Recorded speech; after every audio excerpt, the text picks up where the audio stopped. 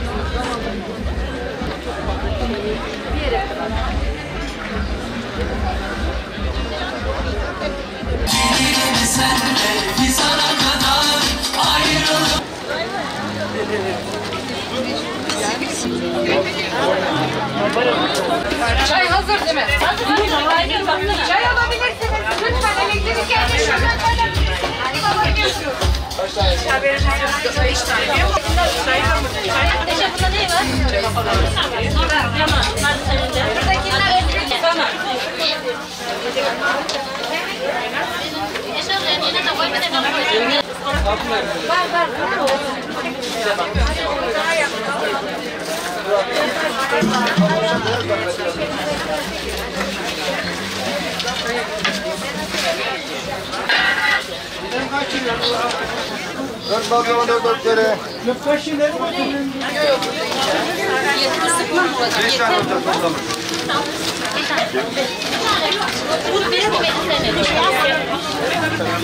Tatlı bir yılanı deliğinden çıkarttı Bunca şair yanılmış olabilir mi?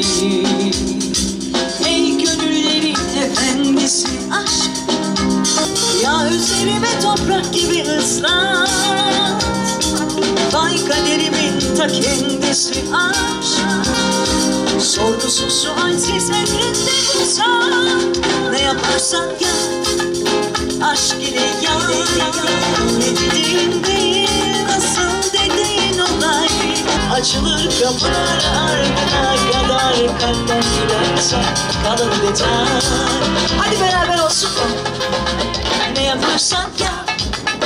Aşk ile yan Ne dediğin değil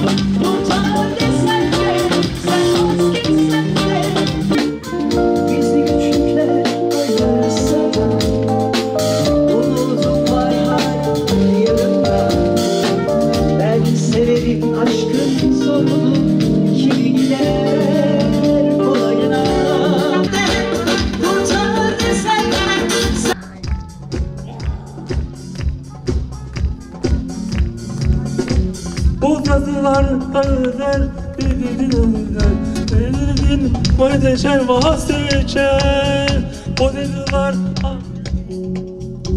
tadında olabilirim. Hayattan hakkımı almayı talep ediyorum. Tam şuraya. Hayattan hakkımı almayı seçiyorum. Sevgiyi almayı seçiyorum. Ekonomik özgürlüğümü almayı seçiyorum. Çünkü ben buna layığım. Bakın şu parmağın şu kısmına. Ben buna layığım. Şimdi kollarımı kocaman açıyorum. Ve bu değerli varlığa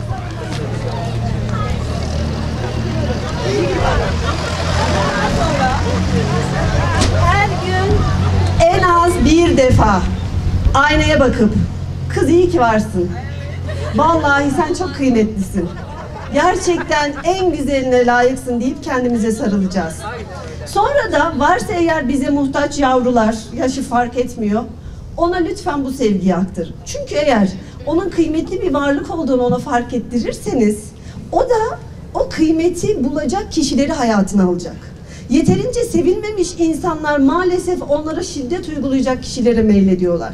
Dolayısıyla bu aslında böyle bir silsile şeklinde sizden ona, ondan ona devam edip gidiyor. Ha evet tamam bizim çocukluğumuz kaçtı belki ama biz bir yetişkiniz.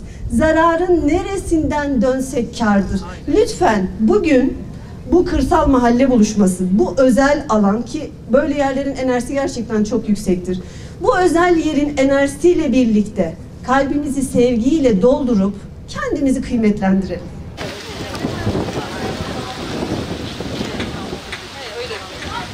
E, şu anda Uzuncaburç Antik Kenti'ndeyiz. Hocamız da yanımızda. Uzuncaburç Antik Kenti'nin kazı başkan yardımcısı Emre hocamızdan da e, antik kentle alakalı e, güncel bilgiler, şu anda yapılan çalışmalar nedir? Bu bilgileri alacağız ve antik kentin geçmişine yönelik. Bulunduğumuz nokta yaklaşık 2300 yıllık bir antik kent yani Helenistik dönemden itibaren burada yerleşimin olduğunu biliyoruz. De Roma, Bizans döneminde de kullanılmış. Burası yoğun bir şekilde iskan edilmiş. Burası Helenistik dönemden itibaren e, Tanrı İmparator kenti olarak zaten tarihte de geçiyor. Bu bölgenin en önemli özelliği çok büyük bir alanda yani Erdemli'de Limonlu Vadisi ile Silifke'de Göksu Vadisi arasındaki bölgenin önemli bir idari merkezi. Aynı zamanda da dini merkezi. İdari merkez ve dini merkez özelliğinden dolayı da burada çok fazla yapı grubunu, çeşitliliği görüyor olacaksınız. Burada Helenistik dönemde yani milattan önce 300'lü yıllarda bir e, rahip hanedanlık yönetimi var. Buranın ilk merkezi e, aşağıda birazdan göreceğiniz Zeus Olbios kutsal alanı ve Nüfayon dediğimiz çeşme yapısı.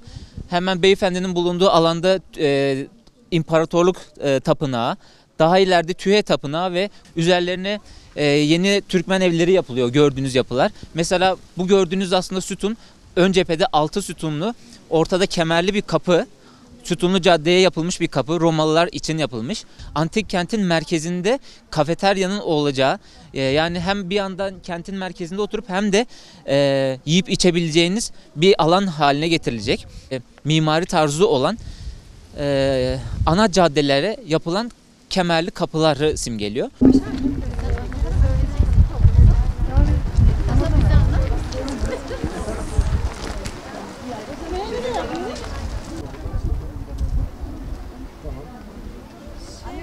Yani sağ tarafta kalıntılar, anıtsal çeşme. Bu anıtsal çeşmeler ne işe yarıyor? Karabük Su Vadisi'ndeki anıtsallar 30 kilometreden kuyuya bağlanıyor. Yerden yerden. Sen geldin.